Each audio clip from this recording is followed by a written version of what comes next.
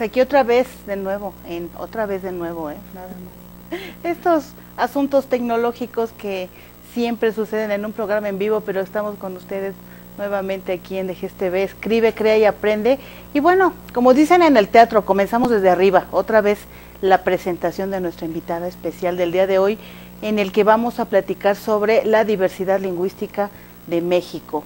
Jan Rosagel, hola, ¿cómo estás? Hola, pues estoy aquí muy bien, muy contenta. Ya les había contado que un poco nerviosa, pero aquí. Toma dos, otra vez cuéntanos sobre ti. muy bien, pues yo soy Jan Rosagel, tengo 28 años, eh, soy de la Ciudad de México y egresé de la Universidad Pedagógica Nacional hace unos añitos. Y la vida me ha llevado a diferentes caminos, entre ellos la educación y el arte. Me dedico a trabajar en aulas virtuales, en una organización de arte contemporáneo y también me formo como narrador oral en el Foro Internacional de Narración Oral Fino, que es una gran escuela de narración con grandes maestros de todo el mundo. Wow. ¿no? También me dedico a escribir poesía, así es como yo la conocí. Nos conocimos, ¿verdad? y porque regresamos del encuentro de mujeres poetas en el País de las Nubes, que es un encuentro por toda la Mixteca oaxaqueña, y bueno, hay un montón de historias que contar de ahí. Sí, fíjense, les decía yo hace rato, creo que no me escucharon, que yo la conocí en plena acción, en un recital que se dio para la presentación de la antología de este encuentro, ella contando una historia. La verdad es que a mí me impresionó mucho el manejo que tiene de la voz, tiene la, fuerza que tiene para narrar las historias y las temáticas, no bueno. Recordé por ahí una palabra que a mí me causaba mucha curiosidad, la tiricia. Y si quieren saber qué es la tiricia, bueno, quédense porque nos va a platicar sobre la tiricia. ¿Qué más nos puedes decir sobre ti, Jan? Bueno, eh, tengo un proyecto que se llama INOAL, que es un proyecto de investigación de narración oral en América Latina, donde cada vez que viajo trato de recuperar una historia de la tradición oral o una historia de las propias que nos hemos inventado para poder andar en el mundo. Porque algo muy importante que lo voy a retomar otra vez, claro. que dijo Galeano, que dicen que los científicos dicen que estamos hechos de átomos, pero un pajarito le contó que estamos hechos de historias. Y el otro día platicando con amigos, le contaba que qué es lo que mueve a los hombres, a las mujeres, a los niños, a las niñas. ¿Qué es lo que los mueve? ¿El poder, el dinero, el amor? ¿O es la idea del poder, la idea del amor, la idea de la ternura? Y entonces nos dimos cuenta que lo que nos mueven son las ideas Claro. Pero ¿de qué están hechas las ideas? De todas las historias que nos cuentan. Entonces, el cuerpo trae apropiadas muchas historias, que a lo mejor no somos muy conscientes de ellas, pero que son las que nos hacen movernos todos los días, son las que nos dan sentido para seguir andando, para caminar, para mirar al otro, para odiar también. para odiar. Pero fíjate lo contradictorio que somos, porque en esta vida tan cada vez más acelerada, perdemos la capacidad de escuchar historias. Sí, claro. Y tenemos que recuperarla. Eh, platicábamos un poquito antes, previo al programa, que cuando vamos a las comunidades allá en, la Mixteca oaxaqueña, eh, de repente nos, cuentan historias y se nos hacen increíbles. Eh, las escuchamos en sus lenguas originarias que son tan dulces, que son tan armónicas y que totalmente las desconocemos, hemos perdido el contacto con esta, esta parte de nuestras raíces. Sí, por supuesto.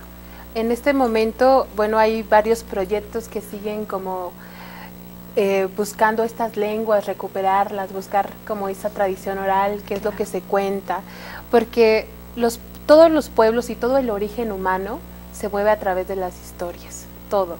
Para comprender el mundo necesitamos la historia del origen del mundo, la historia del tlacuache, la historia del, coyote. Por eso tenemos tantas historias, claro. porque buscamos que algo nos dé sentido. Es como el otro día también conversaba con un amigo y con un maestro que estudia filosofía y decía que el discurso médico te puede decir eh, señorita, su padre falleció porque le dio un paro cardiorrespiratorio y eso significa que se paraliza el corazón, ta, ta, ta, ta, pero eso no nos da sentido. Claro. Cuando el médico nos dice, su padre falleció porque se fue a un mejor lugar, nos está contando otra historia. historia. Y eso nos permite caminar. ¿no? qué hermoso, qué hermoso, Jan. La verdad es que me dejas así como, como niña chiquita escuchando historias. Muy bien, ¿qué te parece si nos cuentas esta historia de la tiricia? Y déjame decirte que hay un poema, no lo recuerdo totalmente, pero hay una parte que dice, y hasta los pájaros de tiricia se fueron muriendo. ¡Wow! ¡Qué belleza! Entonces yo decía cuando era pequeña, ¿qué es tiricia? Me imaginaba este, que era un lugar de donde provenían esos pájaros, los pájaros de tiricia. Y nunca se me ocurrió investigar un poco más hasta que te escuché. Y entonces ya supe qué es la tiricia. ¿Nos cuentas? Claro que sí.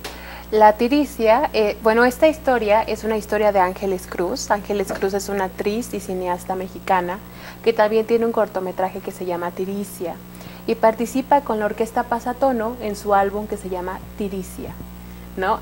Y también hay una película, o sea, el tema ya se ha ido como conociendo y cada vez que voy a una comunidad siempre les pregunto sobre la tiricia, porque cuando yo escuché esta historia, algo aquí adentro se removió y yo dije, wow, esto aquí vive, yo no lo sabía nombrar. Hay tantas cosas que uno no, no, sabe nombrar. Así es, así es. Es impresionante.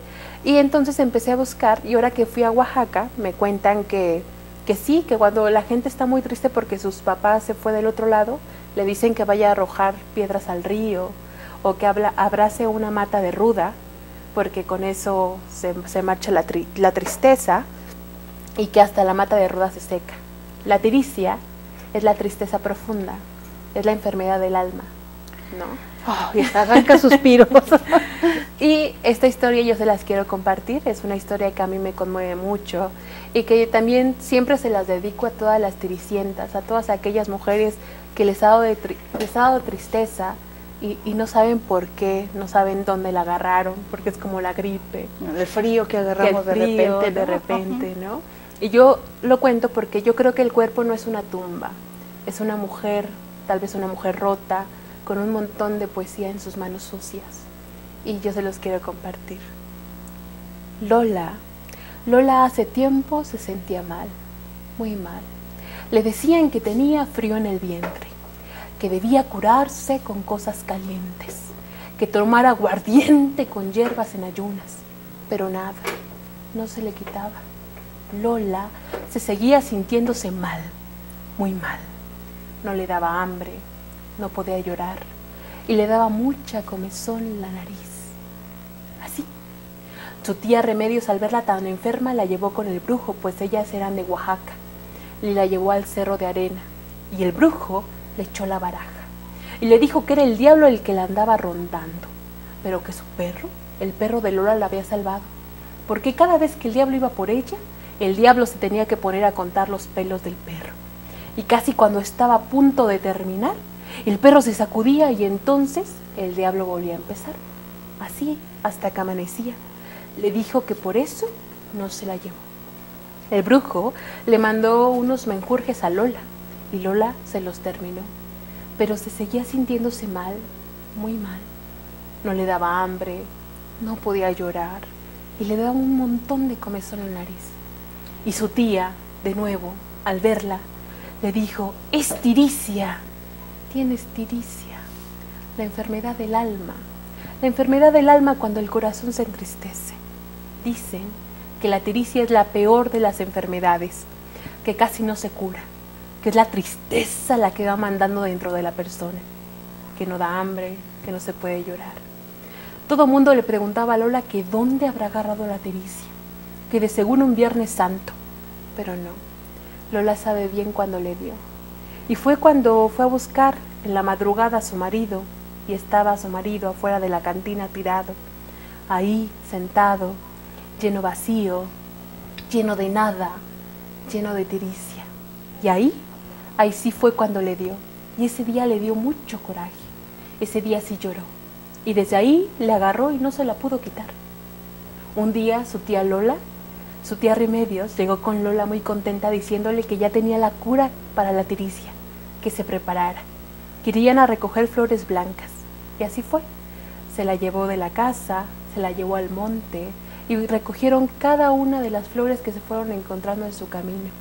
Y con ella le hizo grandes collares que se los puso en el pecho, en las manos. Y después la llevó al río, porque el río se lleva la tristeza, se lo lleva todo. Y echó esos grandes collares al río, eso sí, sin mirar atrás porque le podía dar aire.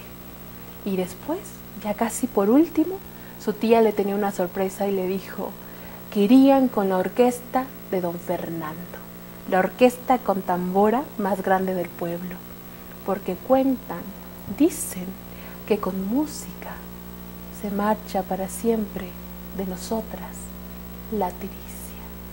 Oh, wow, bravo. ¿Qué tal? ¿Qué tal? La verdad es que yo la, la escucho y la vuelvo a escuchar y, y hasta me vuelve así como a salir la lagrimita. Mm, Yo creo que a las mujeres, sobre todo a las mujeres, nos da tiricia, ¿no? Sí. Yo recuerdo, recordé con esta historia, las historias de las abuelas, la tatarabuela y la bisabuela, que todas andaban tiricientas, yo todas, creo. Todas. Todas andaban tiricientas. Sí, claro. Sí, este cuento menciona una parte que omití. Se me, se me, se me disparó. Se me, Sí, se me- claro, claro. oh, se me fue. Pero ella dice que ella ya sabía que había nacido tiricienta porque nació un día tristito.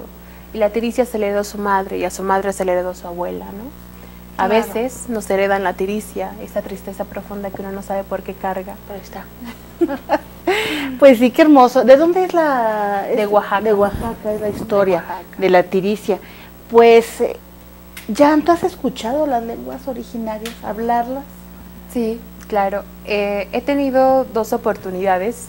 Tengo, bueno, un proyecto con unos amigos, mi amigo Luis Fajardo, que hace un festival en Veracruz, que está en la lengua totonaco, y va a diferentes comunidades a contar historias. Invita a muchos narradores orales para que vayan con la comunidad a contar historias donde se pueda. Si se puede contar ahí en la calle, contamos en, la, calle. Un día las autoridades, como muchas veces pasa, pues nos cerraron las puertas, ¿verdad? Ok. Y eh, yo, yo me quedé muy indignada, yo dije, esto no puede suceder, nosotros venimos a contar y vamos a contar vamos a puerta contar. por puerta. Y así fue que fuimos a tocar puertas y, y decíamos, le venimos a contar un cuento, ¿quiere? Bien, ¿y la, qué les decía? y la comunidad se, se espantaba y era como de no. Pero el único lugar donde me recibieron era una familia, una mamá con sus dos hijos. Y me abrieron, justamente empezaba a llover. Me abrieron la puerta y le digo, venimos a contarle cuentos. ¿Le gustaría escucharnos? Y dice, sí. Y nos pasa, y estaba el niño, el más chiquito y el adolescente, y empezamos a contar cuentos y a leerle cuentos. Oh, y lo que Qué delicia. pasa cuando uno cuenta historias es que uno puede escuchar cómo el mundo se silencia para escucharlos. Claro. Hay un cierto silencio muy peculiar porque hay tipos de silencio. Claro, claro, claro, el silencio que escucha. Ajá, el silencio que escucha es un silencio muy bello porque es como si el mundo se parara Se detuviera. un momento. Dejara de respirar. Sí, claro. Y los niños de ahí hablaban la lengua que era el totonaco. No todos los niños hablan el totonaco. Ahora que fuimos a Oaxaca, eh, hablan el mixteco, ¿no? Y niños Así muy es. pequeños eh, que, que están salvando esta lengua porque hay un poquito todavía de discriminación hacia los que hablan una lengua. Sí, claro. ¿no? Y- claro. Y, son señalados, es que él habla mixteco. Y es como, wow, hablas no, mixteco. qué gusto, ¿no? Qué gusto. Y empezamos a platicar que qué pasa cuando se muere una lengua, cuando dejamos Qué de nombrar Claro. las cosas, cuando Claro. ya, ya no hay palabras para nombrar. Así ¿Qué, qué sucede? Pues eh, se- una parte del mundo se acaba, desaparece. Exacto. ¿Te gustaría escuchar el ayapaneco? Claro. Tenemos por ahí un videito en donde nos están contando una historia, el viento en ayapaneco. Si nos lo pueden poner, por favor.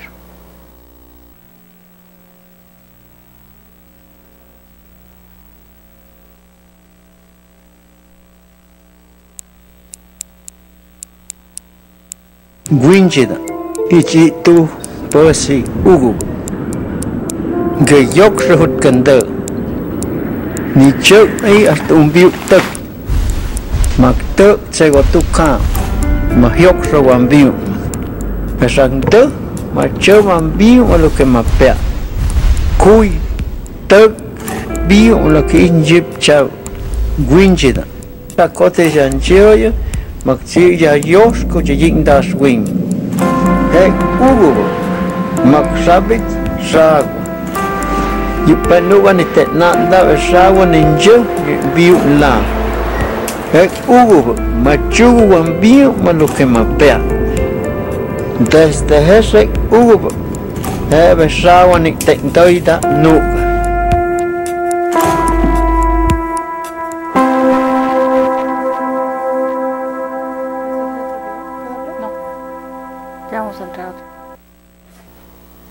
Pues qué tal, qué tal este video, esta historia sobre el hombre borracho que va destruyendo todo y que bueno, pues los dioses deciden que él es el viento. Se vuelve viento. Es muy bella. Son, son historias que salen de nuestra de nuestro entendimiento común, ¿no? De ahorita que decías de la tiricia, bueno, diríamos nosotros es depresión, pero no nos dice nada. No, Tiricia, sí. Preguntaba por ahí este Richie, ¿por qué tiricia y no tiricio? Posiblemente. Yo lo conozco como tiricia, pero también hay tiricientos. Seguramente debe haber, pero tiricientos enfermos de tiricia, De tiricia. así se llama. pues sí, esta historia en Ayapaneco, ¿qué tal? ¿Qué te- cómo, ¿Cómo escuchas? ¿Cuál es la sensación cuando escuchas una lengua originaria que no conoces? Porque eh, escuchas el inglés, sabes que es inglés, el francés, el alemán, ¿no? Pero cuando escuchas algo, un idioma que no conoces, ¿qué sensación te provoca? A mí me parece que no es un lenguaje ajeno, no es algo que esté fuera de nosotros. Me parece que hay como en este instinto un reconocimiento, Ha- hace un eco en nosotros y a mí me parece mucho que las lenguas originarias son como arrullos, tienen una melodía Claro. muy, muy sutil, muy bella y por ello hay como una empatía, como un reflejo, ¿no? Parece. claro. Sí, no, no entendemos así lo que está diciendo exactamente, pero se comunica con el alma. Sí, Lo sí, sentimos en el alma, es, un, es como un brinquito de gusto. ¿No se lo sientes sí, así? sí. Muy bien. Tú, nos ten- tú tienes otra historia por ahí que contarnos, Jan. Sí, yo traigo otra historia, que es una historia que, que montamos para la cumbre Tajín, porque también en Tajín hay una gran fiesta sobre las lenguas originarias, Claro. que es preciosa. Y como yo siempre ando de, digamos que de entrometida, donde no me llaman, y siempre ando preguntándoles, Qué bueno. ¿me puede contar una historia? Por favor. Ahí, en la cumbre de Veracruz, en la cumbre Tajín, yo andaba buscando historias de, de origina- originarias, ¿no? Y entonces andaba preguntando, ¿dónde cuentan cuentos aquí? Y me decían, en la casa de los abuelos, porque hay una casa de los abuelos donde hay rezanderos, donde hay este, este, bueno, abuelos que son médicos tradicionales wow. que es impresionante. Entonces entro a la casa de los abuelos, que es una choza, y ahí le pregunto a la señorita que estaba ahí, oiga, aquí cuentan cuentos. Y me dice, "Mm, creo que el señor de allá. Y me le acerco. Así como, oiga, aquí venden tortillas. Ah, sí, aquí cuentan cuentos. sí, sí, sí. Entonces estaba ahí, este, el señor muy plácido, muy re- como si el tiempo ahí no, no, no, No corriera. ¿no? O sea, que, que aquí ya se sabe que hay un, que no existe el tiempo, que, que aquí siempre estamos Claro. corriendo. Claro.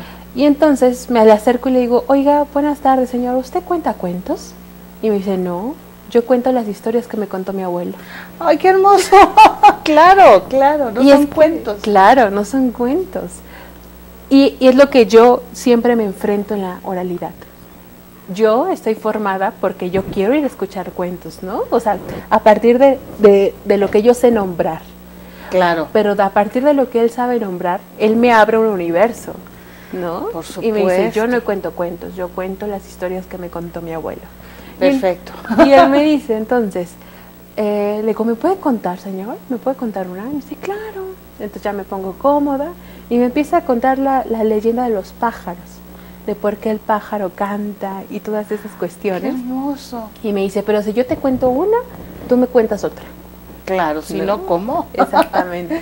Y, y fue una- un espectáculo muy bello porque la oralidad que maneja la comunidad es distinta a la que yo manejo. Por ejemplo, yo soy narradora oral escénica, ¿no? Te, te paras en escenarios. Claro. Él es un narrador oral que trabaja todos los días con la comunidad y que, tra- y que todo el tiempo está contando historias sin necesariamente un escenario. Claro. ¿no? Y es muy bello. Esa es una de mis anécdotas favoritas. Y Hermosísima. eh, tengo una, una, anécdota con él que la pueden encontrar en mi página de internet, que es INUAL, que es Investigación en Ración Oral en América Latina, que ahí está el video donde él cuenta esta leyenda que me gustaría que los que puedan acceder, pues la escuchen. Claro. ¿No? Y me gustaría, antes de contar esta historia que tú quieres que yo cuente, me gustaría recitar un poema que habla sobre la lengua. Adelante. Es de José Manuel Arce, era un poeta guatemalteco y se llama Plegaria contra el silencio. Y creo que esto nos ayuda a entender mucho la palabra. Y dice, aquí está mi palabra y yo te la quiero entregar. Me la dieron mis padres cuando di mi primer paso, mi primer balbuceo. Y desde entonces la cuido, la honro, la exalto y la defiendo. Ella es la que me lleva hasta tu oído. Ella es la que me da mi pensamiento y la que te lo da a ti. Con ella digo quiero, con ella digo odio, con ella digo tengo, con ella digo soy. Y si hoy aquí yo les doy mi palabra, denme también la suya. ¡Wow! ¡Qué hermoso, Jan! ¡Qué hermoso! Cuando nos detenemos a entender lo que es la palabra y el tesoro que tenemos todos. Claro. Y, y esta plegaria es grande. Yo solamente recito un extracto, pero él dice, tal vez vamos detrás del mismo sueño, tal vez somos hermanos y aún no lo sabemos. Ven, hablemos, conversemos. Wow, y lo, lo estamos perdiendo, Jan. En este mundo tan caótico estamos perdiendo el hablar con el otro, el ver, el mirarlo, el, silencio que nos cuenta. Sí, porque el silencio en verdad, el silencio, el silencio no existe. No, definitivo, no existe el silencio. Saramago dice, debajo de las palabras que dices, me parece escuchar otras que callas. Oh, no bueno, esta mujer nos viene a simbrar la existencia completa. Muy bien, ya cuéntanos tu historia, por favor. Bien, esta es la historia de Veracruz y ya ven que en las historias orales siempre está el señor conejo, es un gran símbolo el señor conejo en las comunidades. Y hay una gran gama de historias del señor conejo, de preferencia siempre son muy divertidas porque él es muy astuto, siempre está sabiéndose salir con la suya. Y les quiero compartir esta historia. Un día, un día el señor conejo estaba pensando cómo cruzar del otro lado del río. Y en eso estaba muy pensativo y muy coqueto con las orejas arriba, cuando escuchó una voz decir, ¿A dónde vas, querido conejo? El señor conejo paró más las orejas, volteó a ver a todos lados y no vio nada. Cuando le volvieron a repetir, ¿A dónde vas, señor conejo? Pudo ver que de aquel río salían dos enormes ojos y era el señor cocodrilo. Ay, no. El señor conejo, como era muy astuto, le dijo, hola señor cocodrilo, qué guapo estás hoy. No, hombre, pues te cuento que estoy pensando cómo cruzar del otro lado del río. ¿No me quieres tú llevar? Y al señor cocodrilo, uy, le brillaron los ojitos y le dijo, claro, yo te llevo, pero del otro lado te como. Pero el señor conejo era muy astuto y le dijo, muy bien, acepto. Y aquel gran cocodrilo comenzó a acercar su enorme cola a la orilla del río. Y aquel señor conejo caminó como si eso fuera una pasarela, muy elegante, se sentó casi en la cabeza del señor cocodrilo, acomodándose. Y el señor cocodrilo comenzó a andar por el río. Pero el señor conejo era súper hablador y le dijo, ay señor conejo, oye, pero ¿por qué hueles tan feo? Uy, y el señor cocodrilo le dijo, o te callas o te como aquí mismo. Y el señor conejo se puso calladito. Así que casi estaban a punto de llegar y le dice, ay señor conejo, pero qué rasposo estás. ¿No quieres un poco de cremita? Y para las pulgas del señor cocodrilo le dijo, cállate o te como. Y ya casi cuando estaban a punto de llegar, como a dos metros, el señor conejo se paró, preparó sus patitas y dio un enorme salto a la orilla del río y se fue corriendo. ¡Fum! Uy, el señor cocodrilo estaba muy enojado, muy enojado, y con sus enormes cuatro patas, según él corriendo, trató de salir del río. Y lo fue a buscar, lo fue a buscar a su cueva.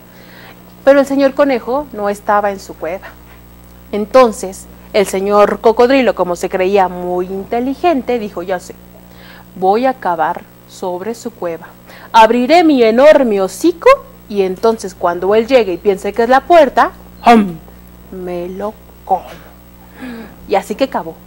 Se acomodó para esperar al señor conejo.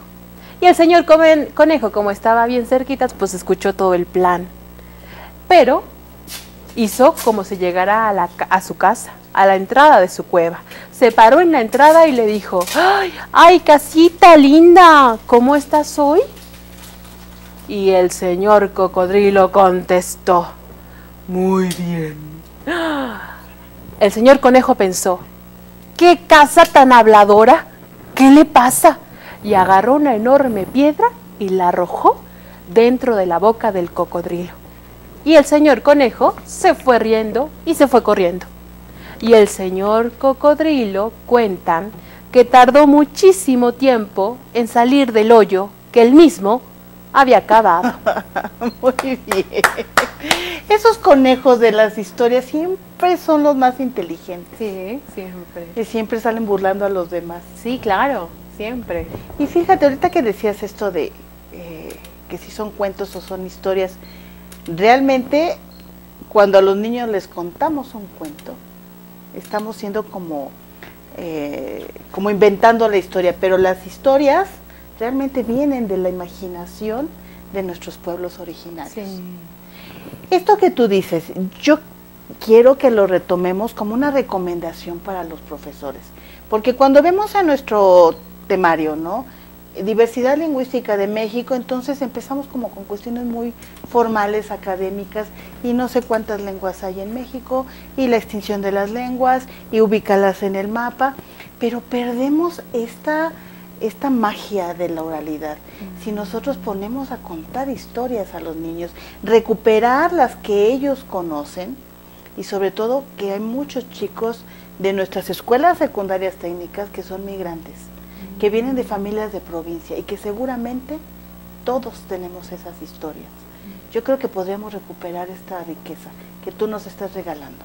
Sí, yo creo que contar historias es ayudarnos a entender como nuestro presente, ¿no? Nuestro pasado y nuestro, futuro. Sí, claro, por supuesto.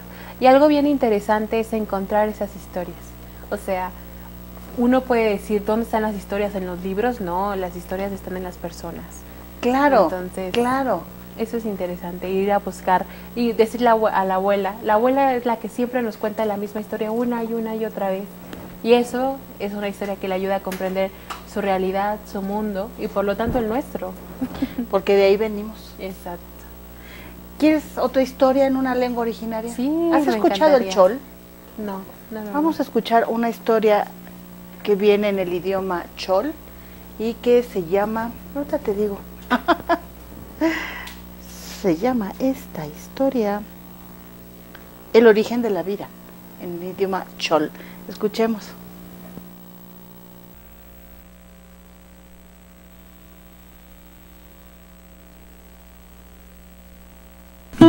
yelo kini ko halish bu habil chutya tini yung panchan ki mere lum yeko tini la cha lum ki kilwi ni ko mach bu yu hilo sahtel chan me kuchop hini lum hin che me lu banyo hini lum me ni kan ibu hin che hini me numel hini yukel ki yora lel ki mele hini nya shankishtani ho mach wen nikishtani ho incha anti chopetilel halel mach komi lahmel kinyel abolel ha al tabo kiliyo isut kiti bat.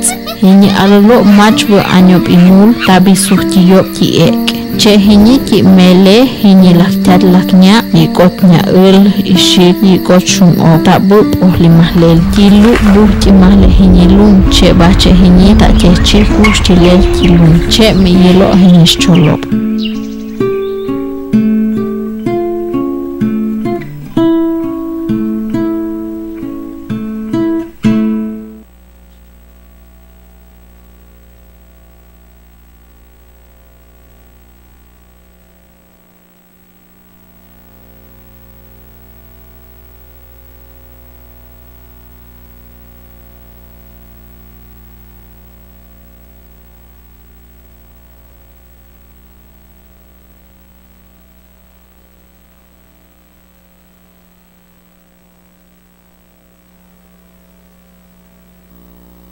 Pues qué tal esta historia en el idioma chol.